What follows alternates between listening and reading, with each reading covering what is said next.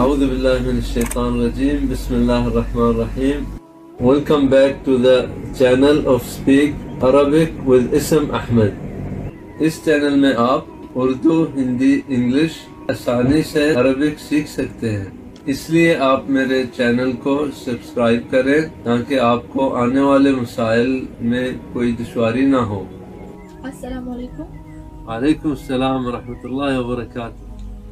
کیا حال چال ہے الحمد للہ اللہ کرم آپ کیسے ہیں ٹھیک اللہ کا شکر آج کے ٹاپک میں کچھ لگژری گھر کی چیزوں کے نام ہوں گے انہیں عربک میں کیا کہتے ہیں ابو سے پوچھتے ہیں ہاں جی ابو جی جی ہاں جی صوفہ صوفہ اریکہ قنفہ بھی کہتے ہیں کنبا عربی میں کہتے ہیں اور کویت میں قنفہ کہتے ہیں اور اس کی جمع قنفات ہے قنفات تقم قنفہ یعنی سیٹ جو ہوتا ہے صوفے کا سیٹ جو ہے اس کو تقم قنفات کہتے ہیں۔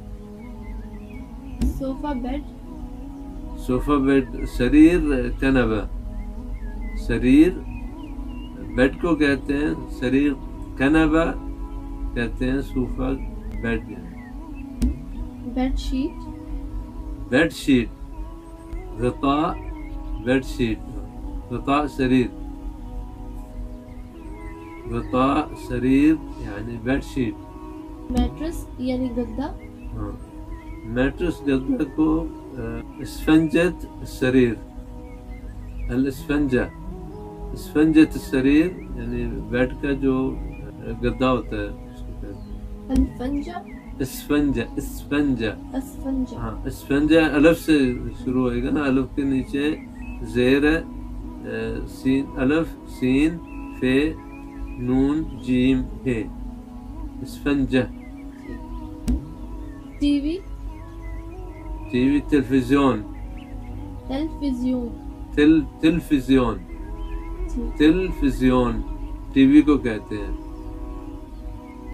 dinner dinner dinner dinner set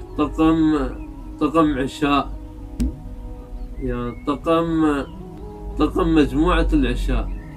مجموعہ سیٹ کو کہیں گے سیٹ کو تقم کہتے ہیں مجموعہ گروپ کو کہتے ہیں اور تقم مجموعہ عشاء یعنی کہہ لو کہ dinner set office chair. Office chair کرسی المکتب۔ کرسی مکتب مکتب یعنی آفس کی۔ مکتب مکتب کہتے ہیں آفس کو۔ Dining table. Dining table dining table کو طاول طعام کہتے ہیں طاولہ کہتے ہیں ٹیبل کو تام طعام کھانے کو کہتے ہیں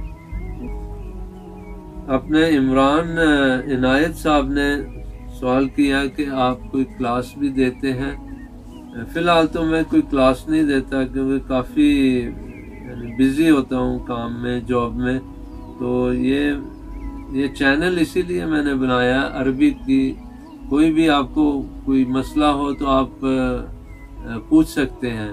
کمنٹس میں انشاءاللہ آپ لکھیں۔ میں اس کا جواب دینے کو تیار ہوں انشاءاللہ۔ اور میں انشاءاللہ تعالیٰ آپ کے سارے جواب سوالوں کا جواب انشاءاللہ دوں گا۔ بارک اللہ فیکم، حیاکم اللہ سائم بارک